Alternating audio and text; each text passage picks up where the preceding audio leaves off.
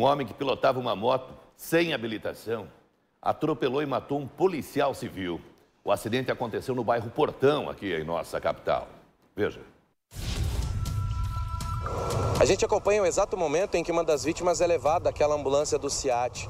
E infelizmente a informação é de que este homem que está aqui no meio da Avenida Presidente Kennedy. Ele não resistiu aos ferimentos após um gravíssimo acidente. A gente percebe, inclusive, que o socorrista colocou ali um cilindro de oxigênio. Neste momento, o socorrista tenta ver ali se existe a identificação deste homem. A gente não sabe o que aconteceu. A primeira informação é de que uma motocicleta estaria envolvida nesta colisão, mas a gente não sabe se essa vítima fatal era um motociclista ou pedestre. A gente acaba de chegar ao local. O trânsito é bastante complicado aqui na Avenida Presidente Kennedy do bairro Portão, em Curitiba.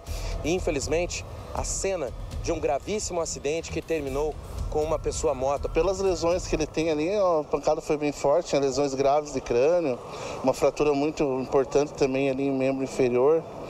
Teve um sangramento considerável e essas lesões não tem mais o que fazer.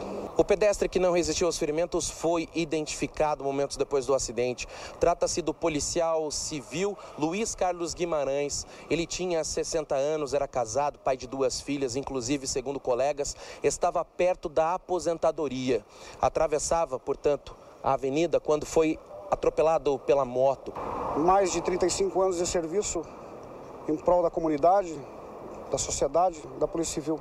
Infelizmente, a óbito numa situação atropelado por uma motocicleta. Assim que receber alta, um motociclista será encaminhado à delegacia para prestar esclarecimentos. O Batalhão de Polícia de Trânsito, BPTran, a DDTran, Delegacia de Delitos de Trânsito, todos irão apurar o que aconteceu, o porquê deste grave acidente que terminou com a morte deste policial civil.